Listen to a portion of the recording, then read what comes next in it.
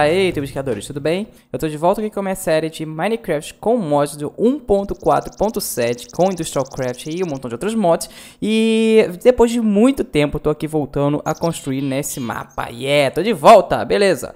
Vamos lá, e enquanto eu tava aqui eu voltei pra, pra essa base aqui no Indústria 1.0 Pra gente poder construir alguns Blue Ingots que eu vou precisar. Eu vou botar alguns aqui na, na, no baú de coisas do, de Red Power e vou pegar um aqui comigo e pegar dois Red Doped Wafers. O meu objetivo aqui é fazer um Sorting Machine. Para fazer Sorting Machine é uma coisa bem simples. A gente precisa só de, de algumas coisas que eu já tenho tudo pronto aqui para fazer. Só preciso de barra de ferro e etc. Então isso tudo eu já tenho aqui, então vou pegar meu Sorting Machine que a gente vai precisar agora na próxima etapa. Deixa aqui fazendo alguns Blue Hollow Ingots, vai sobrar... É, vou gastar coque, mas não tem problema não. E vou voltar lá para a indústria 2.0 e para nossa frame query. Ok, tô aqui na frame query e uma coisa que eu devo avisar é do episódio anterior para esse aqui, eu mudei um pouquinho a minha forma que eu vou fazer vídeos. Eu não vou mais fazer vídeos de tipo 50 minutos, 40 minutos. Dessa vez eu tô fazendo agora vídeos divididos. Em vez de fazer 40 minutos num dia ou 50 minutos num dia, eu tô dividindo esse esse tempo em séries diferentes. Então vai ser mais ou menos 20 minutos esse vídeo, porque hoje mesmo, no mesmo dia que eu, tô que eu vou publicar esse vídeo, eu vou botar mais um outro vídeo de 20 minutos e vai compensar, vai dar uns 40 minutos de séries distintas. Eu tô fazendo isso porque muita gente estava me cobrando muitos vídeos das outras séries, estava ficando chato, então agora eu vou fazer assim. Assim fica variando mais e fica mais separado também os episódios. Fica cada episódio com um objetivo só, então fica melhor. Beleza. Então vamos lá, vou fazer o seguinte aqui, eu vou pegar o meu support frame e expandir, porque no último episódio eu tinha feito isso daqui que ele tira as baterias carregadas e coloca dentro da battery box, deixando a bateria vazia aqui. Eu quero tirar essas baterias vazias para colocá-las de volta na Ender Chest para que o nosso sistema possa processar elas e regá-las. Como é que a gente vai fazer? Bom, aqui tem uma seguinte mecânica. Essa battery box aceita apenas eh, coisas de cima e de baixo. De cima para carregar, de baixo para descarregar. Descarregar no caso a bateria portátil. E dos lados não se conecta. É isso que eu vou utilizar para economizar um pouco de espaço. Eu vou pegar essa parte da frente aqui para transportar a, o negócio. Então vamos lá, vou colocar a sorting machine aqui do lado. E como vai se conectar ao negócio, ela vai receber energia, vai balancear a energia entre a sorting machine e o negócio, que vai ser bom. Beleza, a gente não vai precisar de muita conexão aqui. E vou fazer o seguinte com isso. Eu vou pegar um desses suporte frames, juntar com esse tubo que estava aqui na minha mão. Beleza. E a gente vai passar eles por aqui. Na verdade, eu vou precisar de um pouquinho mais que isso. Então, deixa eu pegar aqui a, a, o Remote Order da indústria 2.0. Pedir mais alguns aqui. Eu pedi mais uns Uns 5. Uns 5 acho que vai dar. Tá, enquanto ele vai trazendo, eu vou colocando aqui. Eu não preciso realmente colocar tubo, no caso. Eu poderia ter economizado aqui e colocar outra coisa. Mas já que a gente vai acabar colocando, eventualmente, coisa aqui, então é bom que é, facilita um pouco a gente, né? Não custa nada a gente botar o suporte frame. Então, beleza. Suporte frame aqui, ele está se conectando a esse lado. Que é o lado que a gente quer sair. No caso, eu não me lembro exatamente se o grandão vai ser a saída ou a entrada. Eu acho que o grandão, no caso, vai ser a entrada e o pequeno vai ser a saída. Que a gente vai, tipo, puxar do, do baú e colocar num tubo. E não do tubo pro baú. Eu acho que é isso. Eu não me lembro bem. A gente vai testar e vamos descobrir qual é a forma certa. Deixa eu pegar aqui na, na indústria 1.0. É, você está demorando a fazer. Isso é um pouquinho complicado, então... De fazer. Então deve demorar um pouquinho mesmo. Volto quando terminar e ficar pronto lá. Bom, os 5 chegaram aqui, estão prontos, vamos lá agora. Na verdade, acho que vou precisar de um pouco mais que 5. Então, eu já vou ir adiantando aqui e pedir mais um pouco, né? Suporte... Eita, frame. Aqui, tube frame. Vou pedir mais uns 5 aqui. Ou até 10, porque a gente vai utilizar bastante disso. Querendo ou não, é bom que a gente já vai se adiantando. E agora eu vou fazer o seguinte, vou puxar aqui, vou ter que cortar esse daqui por enquanto, para que a gente possa colocar o tubo aqui dentro que a ideia é transportar o um negócio daqui para lá. Então a gente vai conectar é, a daqui, tá vendo? Nós temos o sorting machine conectado aqui e conectado aqui. Então esse sorting machine vai vir para cá e vamos... Eu tô achando que não é sorting machine que eu deveria ter usado. Eu tô começando a pensar isso, mas vamos testar, vamos testar. Eu vou colocar o sorting machine para se conectar aqui. E, finalmente, vim pra cá, pra cima. A gente não precisava ter fechado tudo. Pronto. Assim, o nosso, a nossa energia vai transportar... Não, os nossos itens, né, vão ser transportados daqui pra cá. E aqui em cima do Sort Machine eu vou botar pra ele pegar apenas... Droga, não era pra vocês. Mas era pra ele pegar apenas baterias vazias. Assim. Colocar a bateria vazia aqui. Eu tô com uma mega sensação que não era isso pra usar. Eu sabia que não era isso pra usar. Eu fui ver as receitas do filtro, é realmente estendida do filtro, mas não era uma sorte machine. Era um retriever que eu queria, não uma sorte machine. Então essa sorte machine aí tá errada. É. Não é a sorte machine, é filter. Então eu vou voltar lá e deixar isso aqui e fazer mais uns, um filter, né, agora. Beleza, acabei de terminar aqui de criar mais brass, eu tive que criar. Eu tive que mudar aqui também o estanho antigo para o estanho novo, porque tinha acabado meus estanhos. Beleza. Agora eu vou fazer o seguinte aqui. Eu vou pegar minha mini stone e converter algumas... Alguns desses ferros aqui. Eu já ia fazer ferro daquela forma... A crafting do jeito novo, né? Eu tô acostumado já. E não era isso que eu queria fazer no caso. No caso, eu quero fazer pérola do fim, que é mais barato ainda do que eu pensei. Então, beleza. Vamos fazer duas pérolas do fim usando a mini stone. Pra que a gente possa fazer isso daqui, o retriever. A gente só precisa agora do couro, que eu esqueci. E a gente já tem até o Blue Hollow Ingot aqui. Aqui deve ter couro aqui atrás. Na parte de criaturas. Uau! tá cheio de ovo. Eita, olha o problema. A gente não pode deixar isso encher. Então deixa eu tirar aqui algumas coisas, porque isso aqui não pode ficar cheio. Eu vou tirar essas resinas daqui e botar aqui. Beleza. E a parte do ovo, até, até pode deixar ovo ali, mas as resinas eu vou ter que tirar um pouquinho. Beleza, então aparentemente a gente não tem couro na indústria 1.0, né? Ainda tem mais ovo aqui. Eu tenho que fazer alguma coisa com esses ovos aqui, que tem muito ovo. Vamos ver. Couro. Não, só roupa de couro. Vamos ver aqui. Couro. Couro. Não temos couro? Eita, então vamos, vamos caçar algumas vacas então. Uma outra alternativa para fazer couro é aproveitar que eu estou com um mod de... Que transforma carne de podre, carne podre em couro. A gente faz o couro dessa forma. Não precisa caçar vaca. Beleza. Ok, já devo estar com tudo que a gente precisa para fazer o nosso retriever. E agora vamos voltar para a nossa frame query. Ok, estou aqui de volta, já coloquei alguns frames aqui, vamos lá. A nossa ideia é colocar o retriever. Se eu não me engano, o lado amarelo do retriever é onde ele vai puxar. Tanto que ele está em destaque. Então deixa eu tirar ele daqui e tentar botar sem ter que usar o screwdriver, né? Pra gente facilitar um pouquinho. É, parece que vou ter que usar o screwdriver, não tem problema. É só rodar aqui e pronto. Ok, agora a energia do, do motor vai ser transportada para cá. Esse aqui não vai estar tá o tempo inteiro assim movendo, então vai dar tempo dele passar energia. Beleza. E ok. É, parece que a gente está caminhando para ter nosso negócio pronto. Agora que nós temos os, o Retriever aqui, eu posso seguramente colocar para ele tirar baterias vazias. E a ideia é que quando eu mandar um sinal de redstone para o Retriever, ele vai tirar a bateria vazia. Deixa eu tirar essa alavanca daqui pra gente poder mandar o sinal. Ele vai tirar a bateria vazia e vai colocar a bateria aqui. Eu espero que o sinal não trafegue pra cá, que eu não quero mover realmente o bloco agora. Beleza, não trafegou. E a bateria veio e seguiu em destino ao Ender Chest. Beleza. Então esse frame, além de estar tá transportando a bateria vazia para o Ender Chest e carregando a bateria, ele vai ser utilizado para transportar o próprio frame query. Então pronto a gente já tem aqui conectado o nosso sistema de energia. Já está pronto aqui, funcionando. Isso aqui vai ficar sempre reabastecendo. Só falta agora um timer para a gente poder fazer com que ele fique automaticamente tirando baterias vazias e recarregando aqui a bateria com baterias carregadas. Deixa eu colocar essa outra bateria vazia que eu tenho aqui, no caso. Aqui para ela carregar. Beleza. Aí o sistema vai puxar e vai carregar lá, né? Ok. Agora vamos pensar, como é que a gente vai ligar o timer aqui? Eu pensei o seguinte. É, a gente poderia colocar esse fio aqui, tá vendo? Esse tubo, a gente pode colocar redstone nesse tubo e passar dessa forma. O problema seria que ele vai se conectar com aqui e vai acabar mandando sinal para cá. Hum, como é que a gente pode fazer para ele não mandar sinal para cá, já que aqui não, quer, é, não é a área que deve receber o sinal.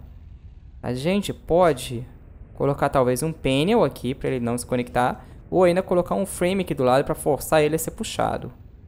Assim a gente pode evitar a conexão desse tubo com isso aqui e passar o sinal até aqui. É o mesmo timer que vai mandar o sinal para cá, vai mandar o sinal lá para trás. Ou outra forma é a gente colocar o timer aqui do lado. Seria bem mais simples. A gente colocaria o timer aqui em cima e o sinal do timer passaria para esse tubo que passaria aqui e passaria para cá, aqui do lado, sem nenhum problema. É, parece uma solução mais viável colocar aqui. Então vai ser assim, eu vou colocar mais uma linha de suporte frame, não se preocupe que a gente vai pegar essa área de qualquer forma. Vai ter essa linha a mais que vai ter o timer aqui. Esse timer vai mandar sinal para cá e para cá. Então vamos fazer isso. Então estou aqui criando três fios, duas tochas de redstone, um ponteiro, um cathode e mais três anodes. E agora eu posso fazer o meu timer. Beleza. Vou levar comigo também esse jacket brick aqui que, que eu acho que vai ser útil. E alguns red hollow wires que talvez sejam úteis, né, pra mim. Beleza, aqui meu plano é colocar o timer como eu falei. Para fazer isso eu vou precisar de uma stone panel. Qualquer, qualquer panel, qualquer panel você pode utilizar. Por que panel e não cover? O panel ele é um pouquinho mais forte, ele vai conseguir puxar o que estiver preso a ele. Então eu vou colocar aqui, no caso, preso a ele, o nosso timer. Eu, no caso, eu não estou conseguindo botar porque eu estou em cima dele. Beleza, vou botar mais um painelzinho aqui só pra gente poder pisar. Ok. E aqui vai ter o timer. Beleza. Timer vai estar aqui pulsando, feliz, mas eu vou aumentar o tempo dele. A gente não precisa ter o timer pulsando a cada 2 segundos. 10 segundos eu acho que já vai ser tempo suficiente. E além disso, a gente vai precisar de mais uma panel aqui. Pra gente poder colocar qualquer tipo de redstone aqui. Até mesmo um redstone vanilla vai servir. Porque a gente só quer conectar daqui pra cá. Uma redstone vanilla já é o suficiente. Beleza. Se a gente quiser expandir, a gente pode trocar aqui pra outra coisa. Beleza. E agora, para conectar aqui o tubo, a gente vai ter que novamente tirar esses tubos daqui. Só esses dois tubos. Esses dois tubos a gente vai transformar eles, no caso, em redstone tub. Redstone tub frame. E eu não transformei eles em redstone tub frame. Na verdade, só transformei um, parece. Ok. Sem problemas. Pronto. E agora a gente vai cair. Beleza. Já colocar aqui, aqui. E agora eu espero que esse redstone não se conecte àquele redstone ali. Eu acho que não vai mandar sinal de redstone pra lá, não. Eu tinha esquecido desse detalhe. Tomara que ele não mande. Se não, você tem que simplesmente passar mais fios pra cá e conectar a partir desse ponto. Ignorando esse. Vamos ver. Aqui não tá mostrando conexão, então eu acho que ele não vai se conectar. Bom, pra gente poder ter mais certeza, vou abrir espaço aqui. Que se ele fosse conectar, ele vai simplesmente mover a frame. E a gente vai saber que ele moveu pra algum canto que não era. Então vamos lá. Eu vou conectar esse tubo. Eu posso, não preciso colocar o panel ali no caso, porque esse aqui vai ser um bloco basicamente completo, que é o do o jacket wire. Pronto, tá instalado. Ah não, no caso eu vou precisar sim da panel, senão ele não vai fazer a conexão. É, tinha esquecido desse mínimo detalhe. Eu vou precisar colocar a panel aqui pra gente colo poder colocar um red alloy wire obrigatoriamente aqui, senão a gente não vai conseguir fazer a conexão. Pronto. Agora é só esperar e vamos ver se o sinal vai chegar até lá. Se ele vai andar tudo. Beleza, ele não andou. E ele tirou a bateria descarregada. A bateria descarregada veio pra cá carregar. A bateria que estava carregada foi pra lá. Tá descarregando e agora tá travada aqui. Vai ficar travado. Esse aqui tentou tirar outra bateria e ficou emperrado. Ficou sem baterias aqui dentro. Mas esse aqui ficou emperrado. Assim que aquela bateria descarregar, ele vai sair de lá e vai mandar uma outra bateria carregada. A outra bateria carregada vai chegar ali e vai ficar feliz ali. a tela foi descarregada. A tela ser completamente descarregada. No caso, eu passar a carga de volta para cá, para essa aqui ficar totalmente descarregada. E guardar aqui e deixar disponível no nosso sistema. Beleza. E agora, isso aqui vai ficar abastecendo o nosso sistema com energia o tempo inteiro. Só o que a gente precisa agora é fazer a parte que vai movimentar o... e, e, além de movimentar, fazer a mordida. Que é o que eu chamo de mordida é quando ele pega as coisas e transporta para dentro dos nossos baús. Bom, o nosso motor aqui está basicamente quase completo. Então já vou começar a tampar. Essa parte aqui de trás vai ficar assim. Eu, eu notei um detalhe também. Toda vez que o timer pulsa, eu não estou conseguindo olhar, mas luz, as luzes apagam. Olha só. Vai pulsar. Agora. apagou. Toda vez, porque o, o Light Helmet do Dynamic Light para de funcionar. Não é do Dynamic Light, mas a configuração que eu botei no Light Helmet para de funcionar toda vez que ele pulsa. Até eu der um próximo passo e ele atualizar. Engraçado isso, mas dá pra viver. Vamos lá. Eu vou colocar então uma cobertura aqui para tampar e proteger mais os nossos, nossa, o nosso motorzinho aqui. Eu não quero que nada aconteça com ele, como por exemplo cair água e tudo mais. Então isso aqui até que vai ser útil, esse cantinho aqui. Então eu vou precisar de bastante suporte frames pra gente tampar tudo e ficar bem protegido. E não é desse tubo, né? Vou precisar de, dos outros tubos. Deixa eu pegar aqui na minha indústria 1.0, pedir para ele criar mais support frames. Vou pedir, vou pedir para ele criar agora uma, basicamente, uma grande quantidade. Vou pedir para ele pedir, para ele me trazer 64 também não, mas uns 30 desses. Beleza, ele vai trazer 30 support frames agora. Ok, chegaram meus support frames, eu vou ter que tirar essa tocha daí, infelizmente. Ela tá no caminho. Eu abri um espaço aqui, abri um espaço inclusive na frente. Vamos testar antes de terminar de fechar se vai dar algum problema. Vou tentar dar mais um passo. Aqui vou colocar manualmente a alavanca aqui em cima. E vamos tentar dar um passo para frente. Vamos ver. O objetivo é que a gente coloque aqui e a gente consiga mover. Beleza. Ele tá andando. E a gente pode reposicionar usando isso aqui. Oh, oh, não reposicionou. Por que você não reposicionou? Então temos algum problema. Ele não quis reposicionar. O problema talvez seja que embaixo dele, desse frame, a gente tem que colocar um panel para que ele possa posicionar. Ou, não, um panel mesmo, um cover, um cover. Vamos colocar um cover aqui e vamos ver se com esse cover ele vai conseguir reposicionar sem nenhum problema. Vamos lá, vou girar até achar a posição certa, igualzinha daquela imagem. Talvez tenha que girar um pouquinho mais. Vamos ver. Não. Aqui, não. Agora. Beleza, girado. E agora vamos ver. Aqui tá com a energia que eu tô vendo aceso. E vamos ver agora. Vou botar sinal de redstone. E continua sem mover. Oh, God. Tá, talvez seja por causa disso, então. Por causa desse painelzinho, ele não conseguiu. Não, também não.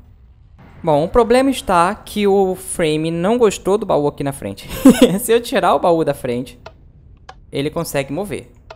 Agora, se eu colocar o baú ali como estava antes, o Ender Chest, aqui, e tentar mover, ele não vai querer mover, porque o baú está na frente dele.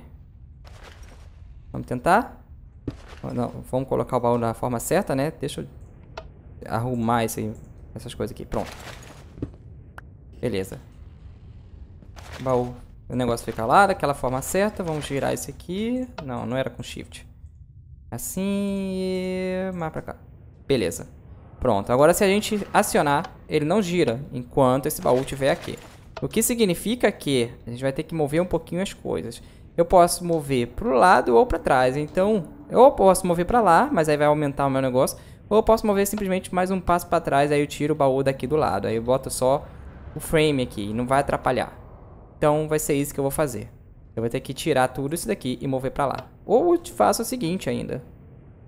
Eu posso ainda, tipo, desconectar e mover esse lado e mover uma, só esse, essa parte do frame.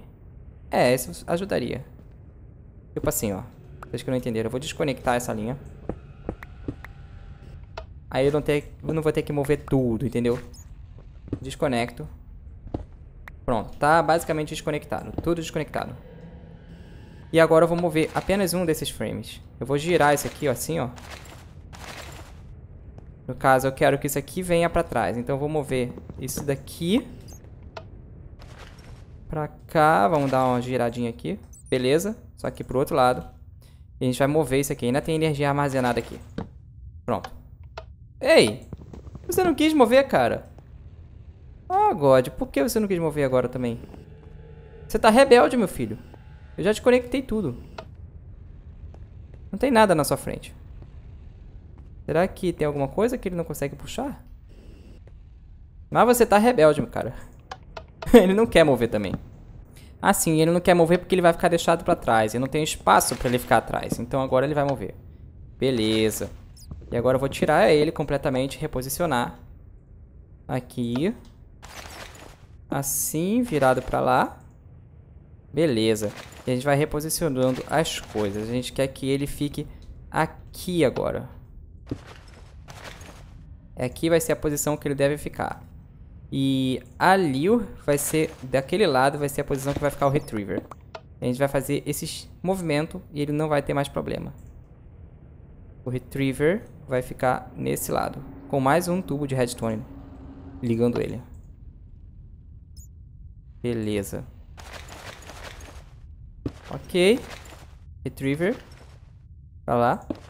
Puxando do, lado, do outro lado, na verdade. Screwdriver. Vamos girar isso. Beleza. Isso aqui que tava falando. E agora, creio que não vai ter mais problemas. Porque não vai ter o baú na frente dele. O que vai ter vai ser isso daqui. Que eu posso tampar ainda com um painel só pra garantir que não vai ter problema. Beleza. Agora é só reconectar aqui as coisas e tudo vai dar certo. Deixa eu abrir mais... Ai, não, quebrei coisa errada. Tá, era só um, um frame? Não, era um desses daqui. Desse daqui. Beleza. Vou abrir espaço aqui na frente. Vou ter que quebrar esse Nicolite. Ok. Acho que esse espaço aqui já é o suficiente. E reconectar essa linha aqui que eu cortei, né? No caso, tem que conectar esse tubo novamente. Eu posso conectar... Eu vou precisar de dois deles, na verdade. Um aqui e um aqui. Vai fazer a conexão. E esses aqui que eu cortei. No caso, vou precisar de um aqui embaixo. É só passar a linha. Pronto. Pronto, tudo conectado. Aqui na, na indústria 1.0 deve ter ainda os tube frames. Na verdade, eu preciso de mais frame comum. Eita, eu já usei basicamente todos eles. Mas vamos ver. Eu vou tentar mover e vamos ver se a gente vai conseguir se mover dessa vez. No caso, é, o que a gente vai mover é isso daqui. Pronto, moveu tudo. E agora a gente vai reposicionar. E agora sem nenhum problema. A gente consegue mover toda a nossa plataforma. Só que, pessoal, é... como esse vídeo está ficando longo, no próximo vídeo eu continuo. Vou fazer a parte da frente do nosso motor. Vou cobrir tudo isso daqui. E é isso, pessoal. Espero que vocês tenham gostado do vídeo. Se gostaram, por favor, clique em gostei, adicione os favoritos, compartilhe. Se ainda não se inscreveu, se inscreva. E a gente se vê no próximo vídeo. Até mais!